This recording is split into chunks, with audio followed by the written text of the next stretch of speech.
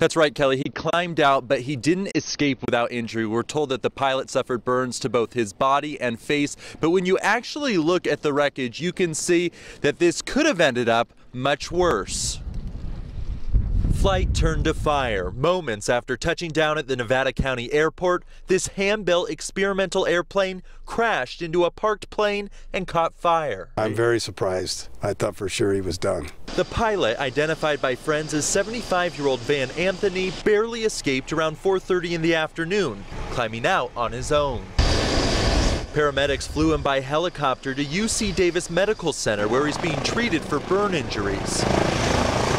Anthony built the plane himself, devoting countless hours piecing it together. It was uh, uh, learning the plane, and it was still within his 40 hours before it would be certified to, to go anywhere. The pilot initially landed on the runway, but he lost control. You can see he took out this sign here before going ahead and knocking over this taxi light. He then veered off and ended up on the parking ramp. When firefighters arrived, both planes were on fire. It's not clear what caused the crash, but the plane's landing gear stayed intact throughout. He was landing and uh, landed hard, and then uh, something something happened after that, and he was he was along for the ride, basically. Looking at the wreckage, friend Bruce Marlowe calls Anthony's survival miraculous. He did well to get out of that aircraft in a timely fashion. I'm I'm sure right now he's probably not feeling that, but he did well to get out of that.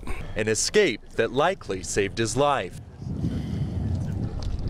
The plane needed more flight time before it could go anywhere, so Anthony was required to stick close to the airport. I spoke with a nurse at UC Davis Medical Center who told me that Anthony is in the emergency room, but he's in stable condition. Reporting live in Grass Valley, I'm Tom Miller, KCRA 3 News. Certainly.